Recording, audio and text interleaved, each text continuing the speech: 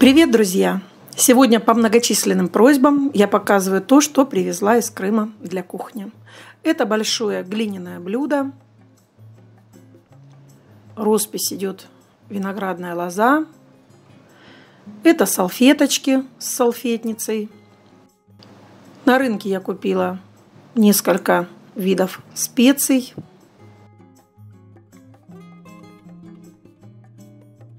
Виноградное вино красное, белое, лаванду два пучка, кастрюля или горшок глиняный с крышкой на 6 литров.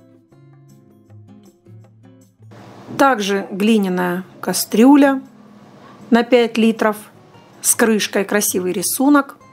И удобно то, что крышку можно, к примеру, перевернуть и получится как глубокая тарелка. Следующая кастрюля на 3 литра. Тоже на 3 литра кастрюля. Также она глиняная, расписная.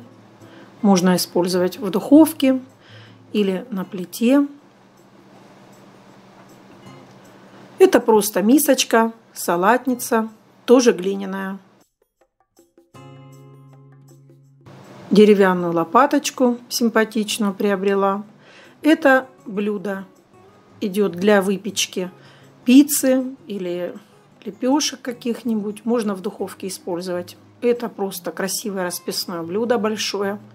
Турочка из латуни. У меня много турочек. Вот у меня теперь еще одна есть. И вот такое блюдо я уже его показывала.